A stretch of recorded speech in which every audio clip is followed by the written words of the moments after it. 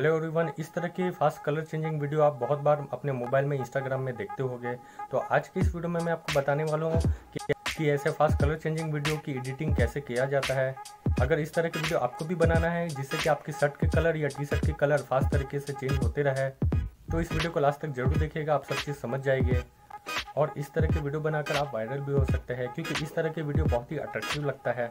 तो दोस्तों, आज की वीडियो बहुत ही इन्फॉर्मेटिव होने वाली है और अगर आपको हमारा ये वीडियो पसंद आए तो हमारे वीडियो को लाइक कर देना और अगर आप हमारे चैनल में नए हैं तो हमारे चैनल को सब्सक्राइब कर देना और साथ में बेल आइकन को प्रेस करना नहीं भूलना, जिससे कि आपको हमारे आने वाली हर वीडियो की नोटिफिकेशन मिलती रहे। तो चलिए शुरू करते हैं। तो दोस्तों, सबसे पहले आपको काइन मास्टर एप्लीकेशन में जाने का है। यहाँ पर आपको प्लस वाले आइकन में क्लिक करना है।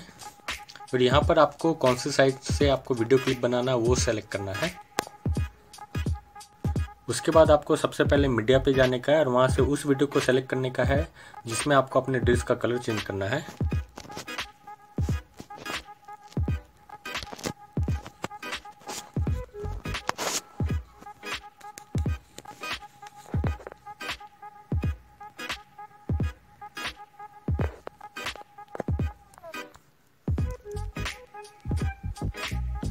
फिर सबसे आगे जाना है। उसके बाद इसको सेलेक्ट करना है, फिर इसे साइलेंट कर लेने का है। उसके बाद इसका डुप्लीकेट लेयर बना देने का, इसको सेलेक्ट करके। फिर डॉट पे क्लिक करना है डुप्लीकेट एज लेयर करना है। ये होने के बाद इसको पूरा फुल स्क्रीन में सेट करना है। तो इसमें पहले क्लिक कीजिए सेकंड लेयर पे। उसके बाद बीच वाले ऑप्शन में जाइए। फिर सेकंड वाले ऑप्शन में क्लिक कीजिए। फुल स्क्रीन में ये सेट हो गया ओके कीजिए। फिर यहाँ पर आपको पहले प्ले करके देखने का है कि आपको वीडियो कहाँ से स्टार्ट करना है। ना, आपको कलर कहाँ से चेंज करना है? यहाँ स्टॉप कीजिए। फिर यहाँ पर लेयर पर क्लिक कीजिए। उसके बाद आपको मीडिया पे जाने का है। फिर आपको कौन सा कलर है वो चॉइस करना है।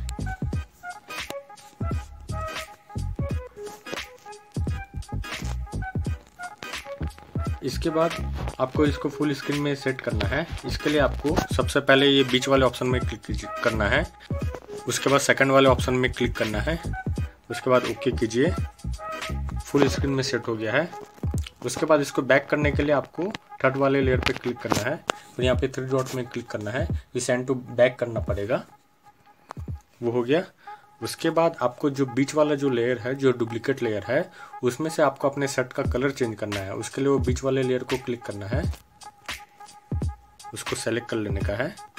तो सेलेक्ट करने के बाद थोड़ा सा आगे कीजिए, फिर क्रोमा की करना है इसको। क्रोमा की कीजिए। यहाँ पे आपको ब्लू कलर तो है।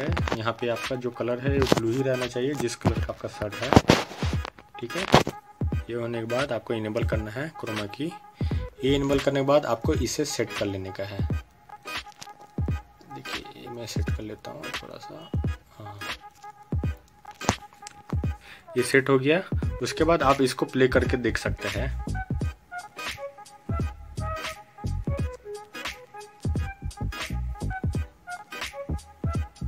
देखिए, ये कलर चेंज होने लग गया है, ठीक है? मैंने ब्लू कलर का ही शर्ट पहना है, इसलिए आपको जल्दी पता नहीं चलेगा। फिर आपको जहाँ तक ये वीडियो चाहिए, वहाँ तक आपको ट्रिम करना है।